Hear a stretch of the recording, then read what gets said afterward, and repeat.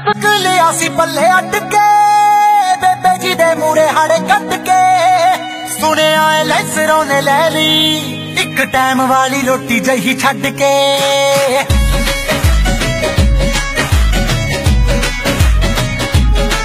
ਮੈਂ ਤਾਂ ਸੇਬਕ ਲਿਆ ਸੀ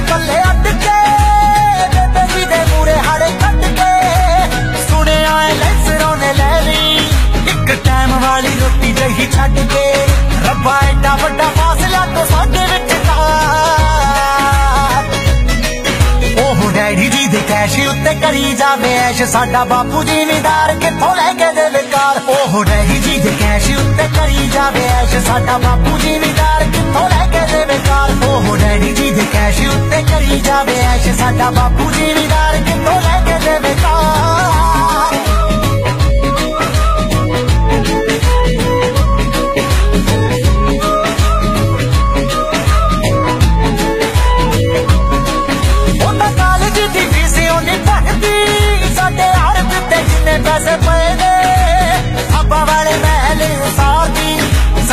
ਸਾਡੇ ਸਦਰਾਂ ਦੇ ਘਰ ਤਾਈਓ ਟਕੇ ਹੁਣ ਦੱਸੋ ਕਿਵੇਂ ਜੁੜੂ ਸਾਡੇ ਦਿਲ ਵਾਲੇ ਦਾ